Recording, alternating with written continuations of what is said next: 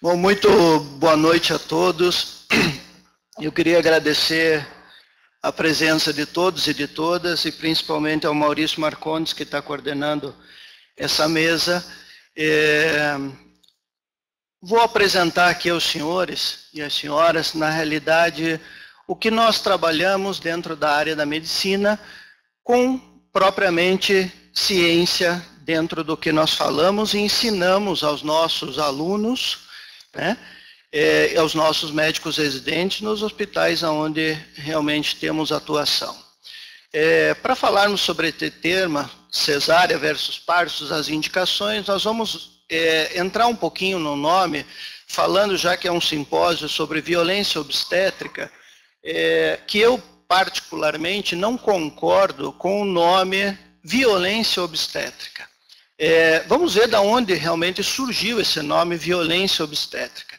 Algumas origens e definições, vamos falar sobre a cesárea, sobre a epidemiologia, as indicações que existem dentro da área médica como ciência, as condições fetoanexiais, as condições maternas, quais são os manejos que nós tivemos como um processo evolutivo da operação cesariana e, por fim, das minhas conclusões. Pois bem, do que eu falei sobre a, o termo violência obstétrica, realmente como já a doutora me, que me sucedeu na palestra apresentou, esse foi um tema que surgiu em 2007 de uma lei na Venezuela, que é uma lei orgânica que trata sobre o direito das mulheres a uma vida livre de violência.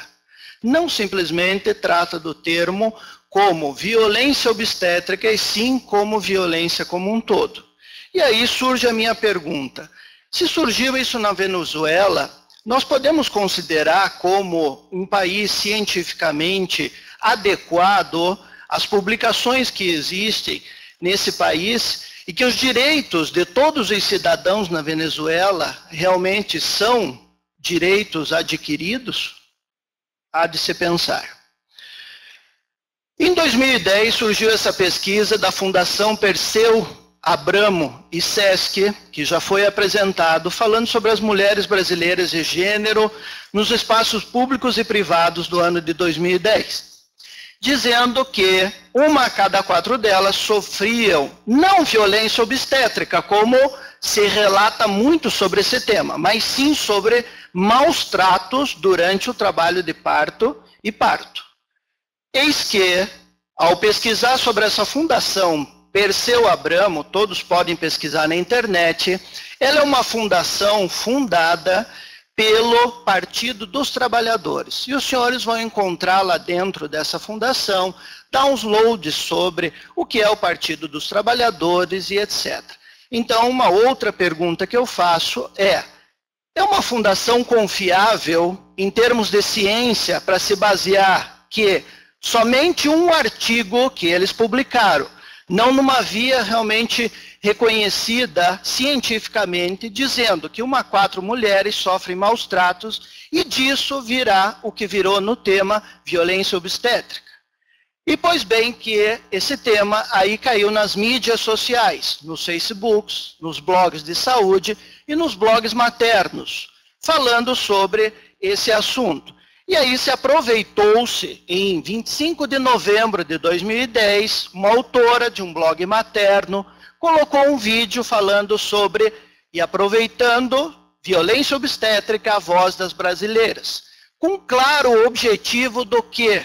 De associar o termo violência obstétrica com o termo violência contra a mulher, confundindo uma coisa e outra e simplesmente relatando que violência obstétrica cometida por os profissionais da área da saúde que atendem às mulheres. Quando a gente vai ver realmente lá nessa lei orgânica da Venezuela, que fala sobre violência, e quando se traduz essa palavra violência, você quer dizer que ela é uma agressão, agressividade, uma brutalidade, um estupro, uma violação, uma violência também.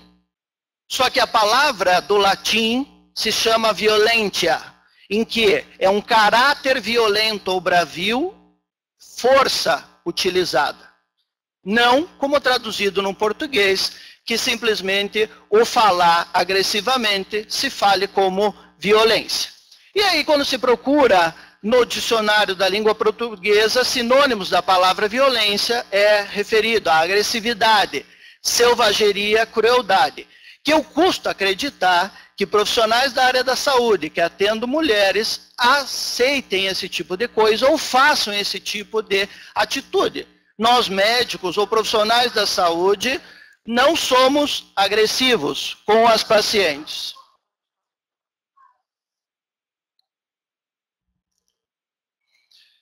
E quando nós temos dentro do juramento de Hipócrates, que lá diz: Prometo que ao exercer a arte de curar, mostrar-me-ei sempre fiel aos preceitos da honestidade, caridade e da ciência. Então, eu não posso admitir que um termo, violência obstétrica, não esteja dentro de um processo de ciência, publicado num Facebook, num blog materno, que, para o americano, isso significa information trash, que significa informação lixo. Não é ciência quando se publica em Facebooks e em blogs. Porque você não tem algum embasamento que te diga se seja ou não correta, que seja alinhavado ao que realmente está se pesquisando ou que se está perguntando.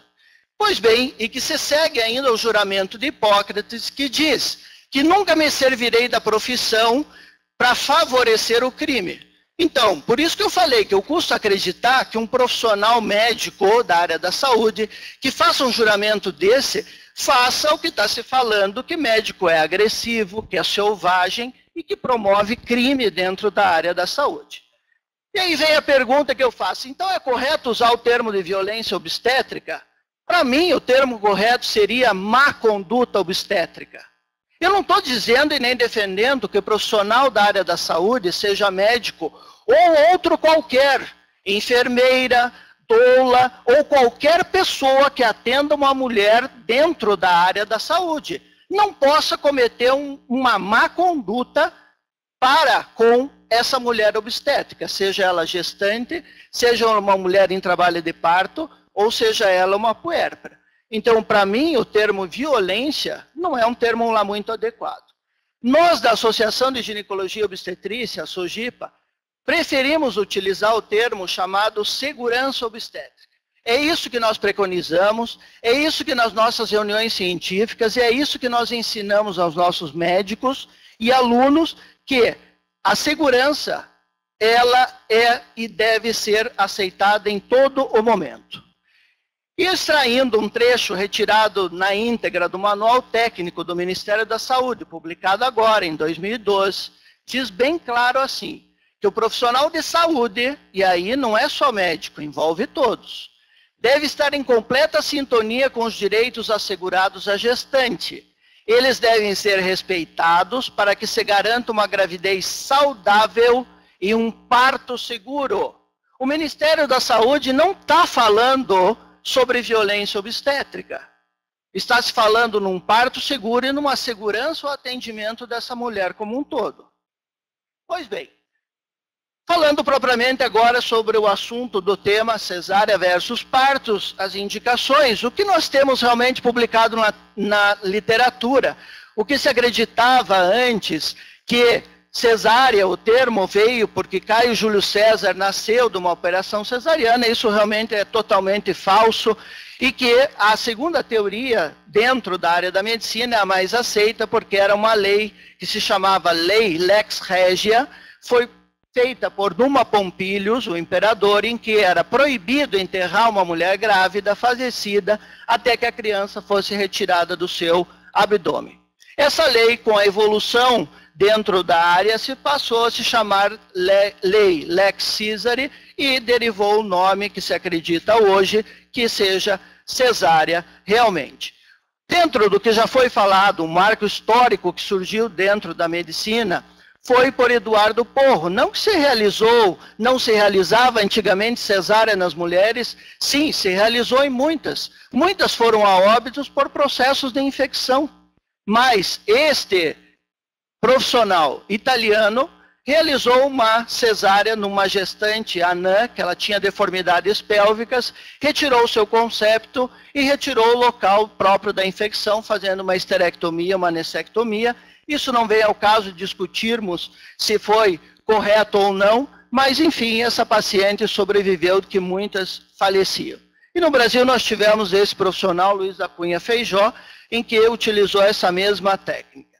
Isso tudo dentro da área da medicina teve uma evolução e a cesárea é um ato cirúrgico. Isso nós não negamos. É um ato de cortar a parede abdominal por uma laparotomia e cortar o útero através de uma esterotomia para retirada do feto. Isso para todas, para todo mundo? Não. Nós trabalhamos com ciência. Nós sabemos aonde nós devemos realmente fazer e sabermos adequadamente realizar o procedimento.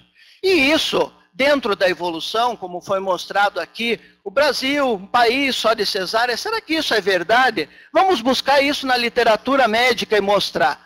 Há realmente, dentro desse processo, do, do final do século XX até hoje, um aumento das taxas de operação cesariana. Mas não só no Brasil, minha gente. No mundo como um todo aumentou. Nos Estados Unidos, vocês observam, antes do ano de 1985, 3 a 5% das cesáreas, e olhem os senhores, a partir do ano de 2002, o quanto aumentou.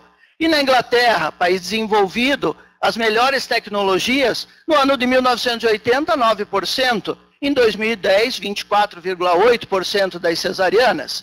E o que, que aconteceu num trabalho publicado lá na Austrália, em conjunto com Israel e Canadá, mostrando que houve na evolução do processo uma redução do uso do fórceps, em contrapartida, o aumento da operação cesariana. Isso pode ser pelas, pela culpa das escolas médicas em não estar ensinando o profissional a realizar realmente o uso adequado de um fórceps ou outro método que auxilie o nascimento propriamente. E aí, o que, que se sucedeu perante isso? A Organização Mundial da Saúde, em 1985, observando esse aumento crescente no mundo como um todo, através de uma definição arbitrária, por uma observação não controlada, os países que eles observavam que tinham baixa mortalidade perinatal eram aqueles que tinham um índice de cesárea em torno de 15% mostrou-se, eles publicaram isso, que embora sem estudo metodologicamente correto, que defina qual que é a melhor taxa de cesárea, eles colocaram como sendo razoável não ser menos do que 15, ser menos do que 15 e nem maior do que 25%. Isso para o mundo como um todo. Então, nós somos iguais em todos os locais, nós temos assistência igual em todos os locais, Dentro do Brasil não existe diferença em regiões menos desenvolvidas para mais desenvolvidas do país? Existe, claro que existe muita diferença. Então, isso daqui pode ser contestável. E isso, desde o ano de 1985, está valendo ainda como uma verdade. Nós estamos quase há 30 anos e os valores são os mesmos. Será que esses valores realmente são os mesmos? Bom, após essa recomendação da Organização Mundial da Saúde, vocês observam nos Estados Unidos, em 2003, um aumento de 27,5%. Em 2009, 32,6% de operações cesarianas. E no Canadá, em 2003, 25,6%. Na Itália, 33%. Isso no ano de 2000. Já está um pouco até desatualizado. No Brasil, aqui no ano de 2000, a doutora Melânia já mostrou para nós realmente um aumento, 50, mais de 52%. No Chile, 99, 45%. Então esses valores são iguais para todos os locais do mundo? Não, não são. Como no Brasil também não o é. Nas regiões menos desenvolvidas do país, você também tem índices menores de operação cesariana, porque para você realizar uma operação cesariana, você precisa ter todo um aparato, você precisa ter condições adequadas. Não dá para realizar operação cesariana numa mulher em qualquer local você tem que ter toda uma equipe para poder realizar o procedimento. Não estou falando que, e nem defendendo a cesárea, pode se realizar e deve se realizar, sempre pensar em primeiro momento é o parto. O parto por via transpélvica, como nós pensamos e nós ensinamos aos nossos alunos. Mas nós temos indicações na área médica que precisam ser levadas em contas. E isso daqui mostra a preferência publicado num trabalho português mostrando, avaliar a preferência das pacientes em desejar uma cesárea no hospital público, não privado de Portugal.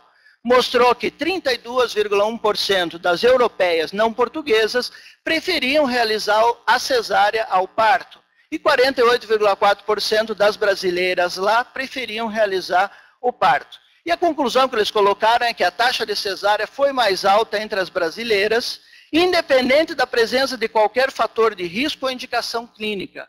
Ou seja, era um processo cultural e uma preferência própria delas. Isso publicado e relatado no estudo, que se quem quiser pode se aprofundar um pouco mais. E aí vem a pergunta, por quê?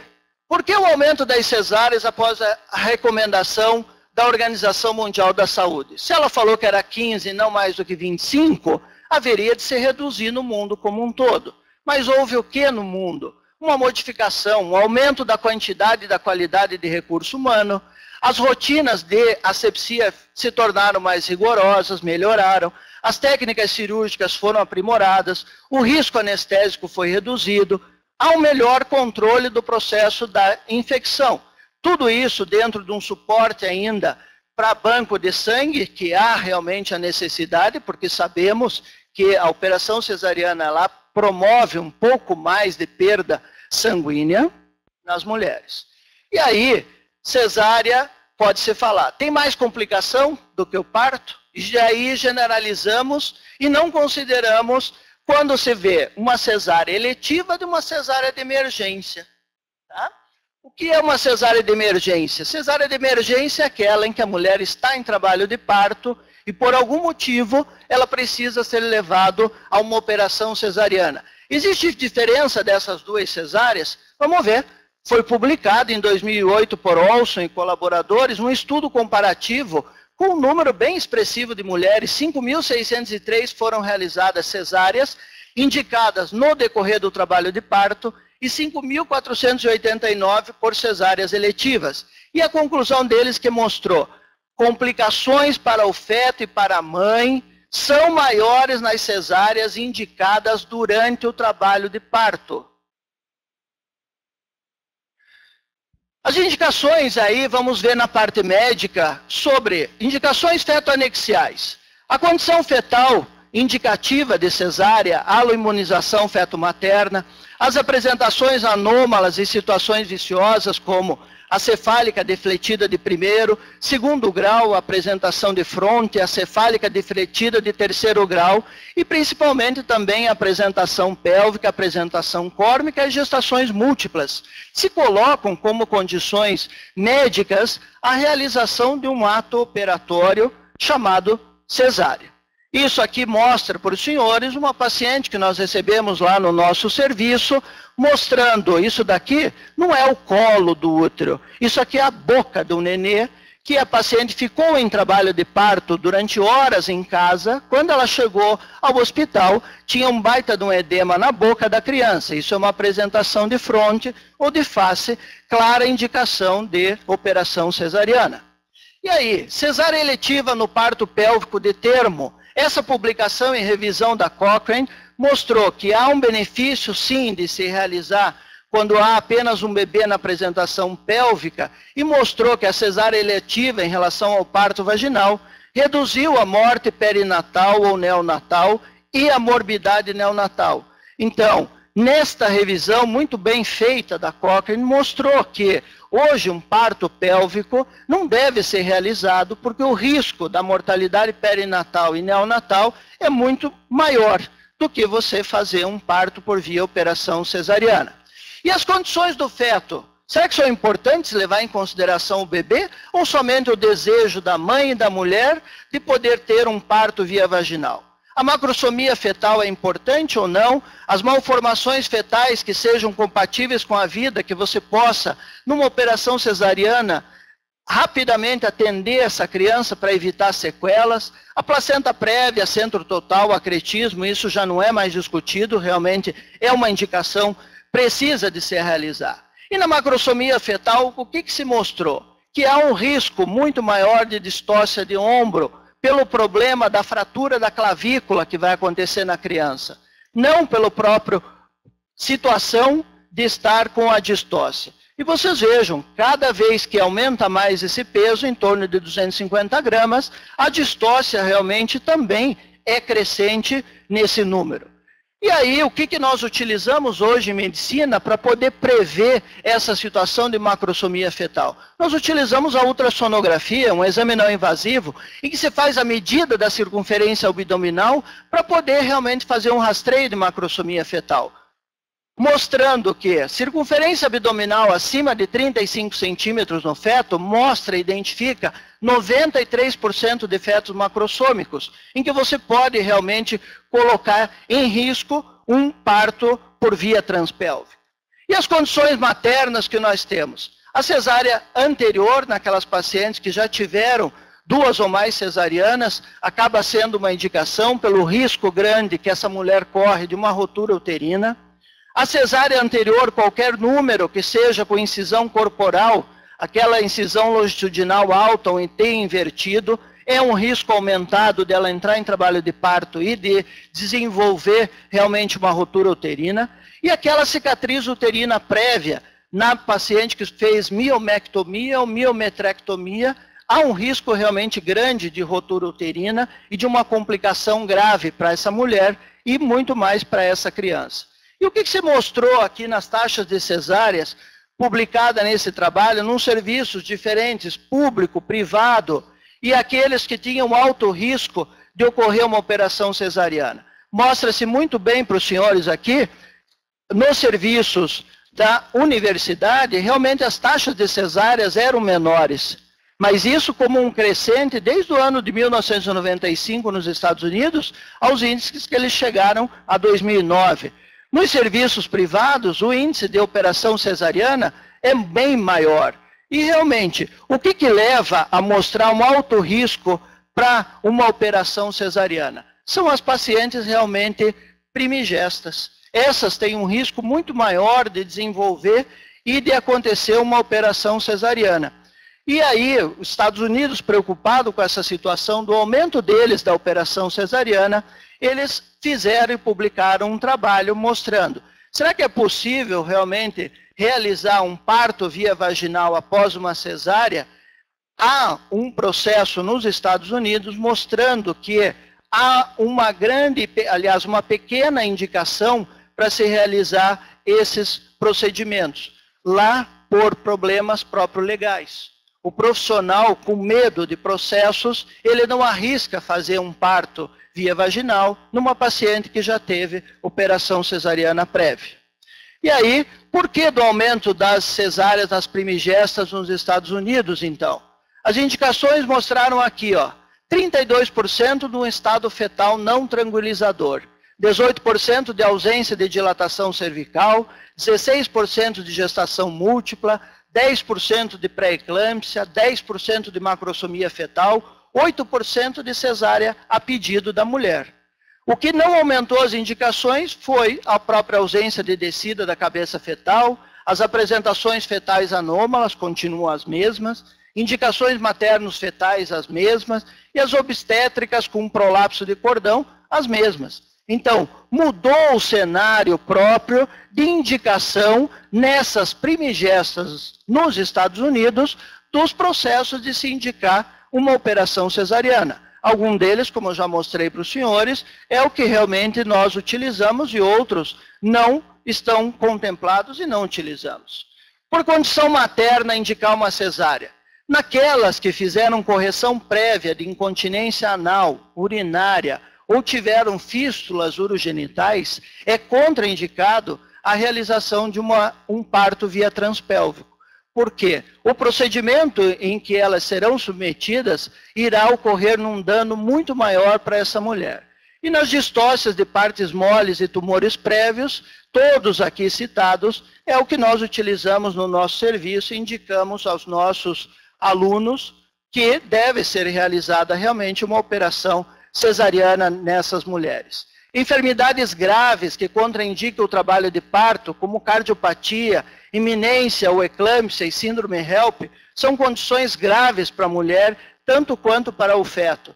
Enfermidades gestacionais graves com indicação de resolução da gestação e peso fetal abaixo de 1.500 gramas, isso tudo muito bem é, documentado. As pacientes com HIV positivo, naquelas que não têm terapia antirretroviral ou recebendo uma terapia com carga viral maior ou igual a 400 cópias por ml, o herpes genital em atividade, não aquele que ela tratou lá no início da gestação e não tem atividade, não tem indicação. E nós nem falamos para os alunos que devam realmente fazer cesárea nessas mulheres. E o que mostra os estudos aqui com graus de recomendação, isso extremamente atualizados, mostrando que nós não oferecemos cesárea se a paciente está fazendo terapia antirretroviral com carga viral menos do que 400 cópias. Não oferecemos cesárea se ela recebe qualquer tipo de terapia antirretroviral e carga viral abaixo de 50 cópias. Mas nessas condições outras, a cesariana mostra que é grau A de evidência e que aí nós passamos a respeitar em que deva ser realizado. Nesse estudo transversal prospectivo, com 944 primigestas, dentro delas 286 elegíveis, 74,8% delas tiveram parto por via vaginal, 25,2% de operação cesariana. A indicação da cesárea principal foi por falta de progressão, sofrimento fetal, angústia materna e pré-eclâmpsia.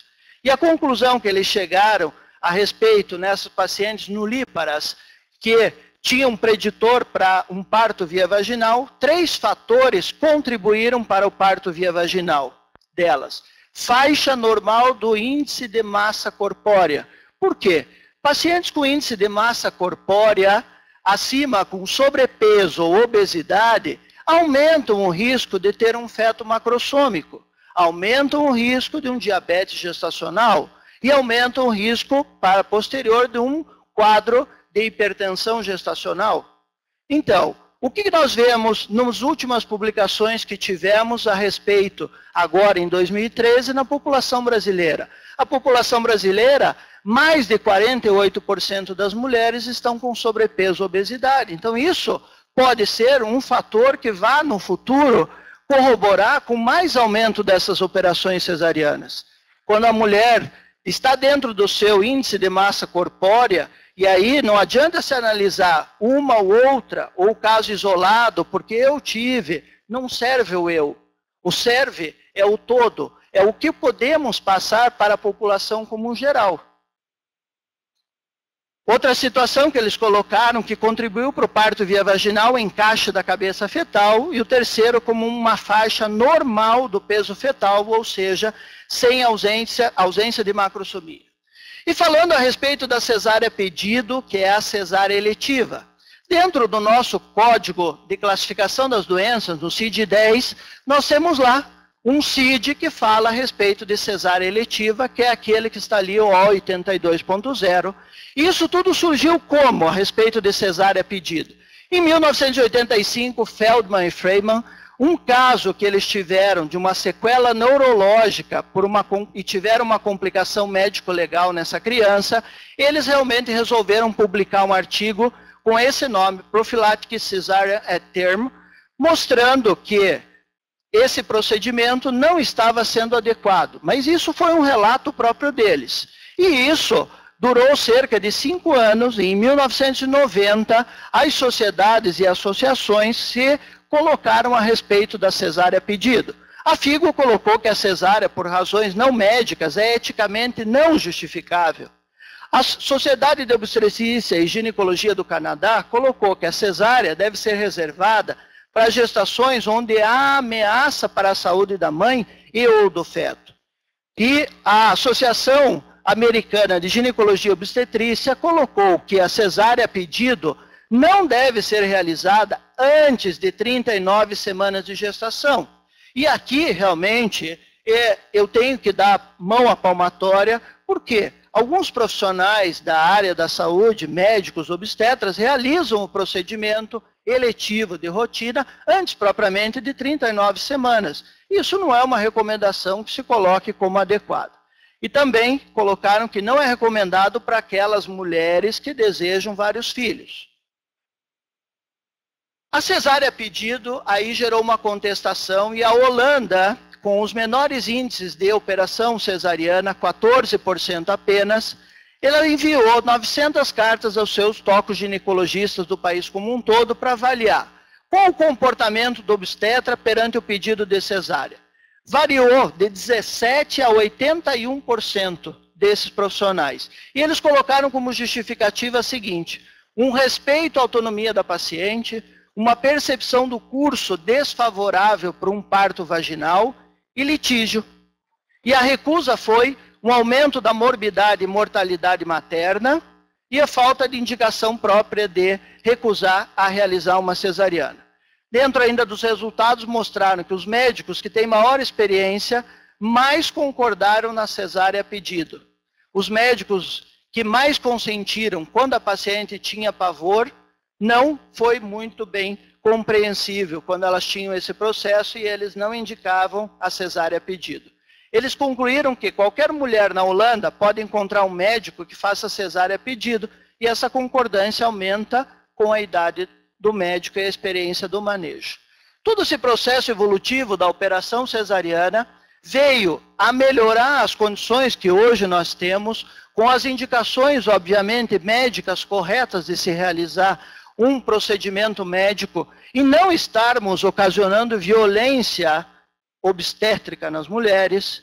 Os cuidados iniciam aonde? Iniciam lá atrás. É o que nós ensinamos aos alunos lá no pré-natal. As pacientes precisam corrigir anemia.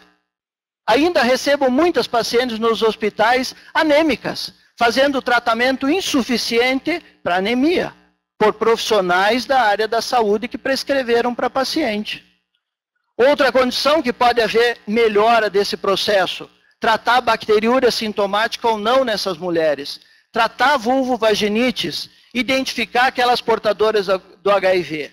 E nós sabemos muito quando relação às recomendações atuais do NICE, publicada em 2011, de que o uso do antibiótico profilático hoje, ele deve ser em dose única antes da incisão da pele. Isso melhora o processo para evitar um processo de infecção de parede nessa paciente. E vou finalizando dando as minhas conclusões próprias, que nós não devemos estar usando o termo violência obstétrica, e sim segurança obstétrica. É isso que nós queremos na parte médica e na área da saúde.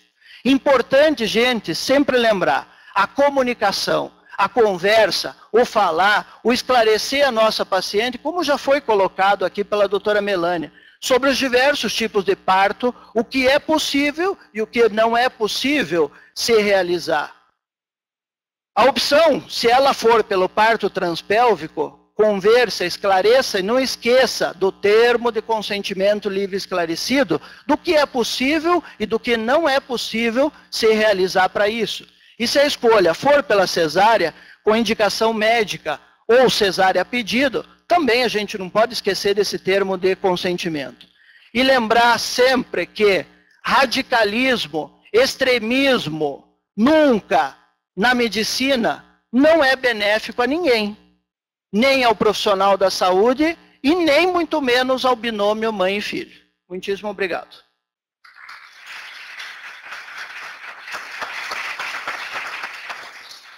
Obrigado, doutor Sheldon. Então, convido a doutora Melânia, doutor Denis para virem à mesa.